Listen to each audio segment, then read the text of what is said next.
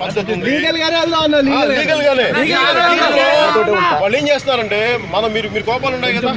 ఏదంటే వాళ్ళు మళ్ళీ మన మీద కేసులు పడాలి అసలు మన ఎందుకు కేసులు పడాలి? వాళ్ళు చెప్పు తీసింది వాళ్ళు. మనం మీరు చెయ్యాలి అంటే నేను మీకు చెప్తాను. నేను నేను చెప్తాను ఒక రోజున. నేను చెప్పినప్పుడు మనం అన్ని లీగల్ గానే వెళ్దాం. అస్సలు కోపమే వద్దు మనకి. మనం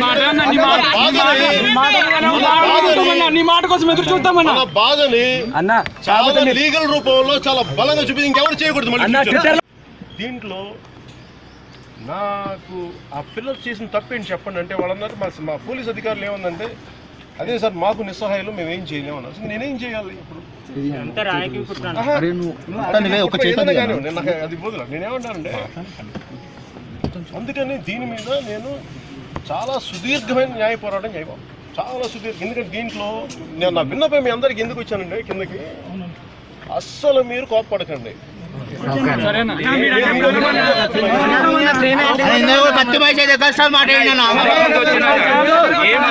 అన్న కొంచెం అరవకన్నా ఇప్పుడు కూడా అర్థం కాదు.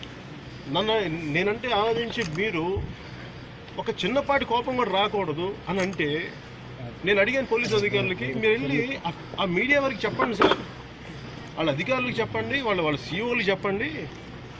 అంటే మీకు అంటే మీరే ఆరు నెలలు పచ్చి బూతులు తిట్టి. ఏమి ఇష్టం నోటికి ఏదొస్తుంది మాట్లాడేసి. మీరు అందరినీ కోపం తెప్పించి మీరు నిగ్రహంతో ఉండాలంటే పెర్పెట్రేట్ కూడా జర్నలిస్టుల మీద నాకు ఇబ్బంది వస్తుంది. సమాజంలో మంచి ఉంటుంది చెడు ఉంటుంది చెప్పాలి నేనేమంటున్నాను ఓకే.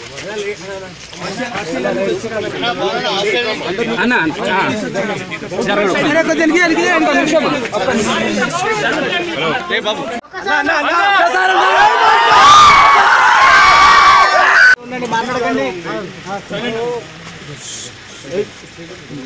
మీ ఇద్దరు ఏ ఛానల్స్ అమ్మా?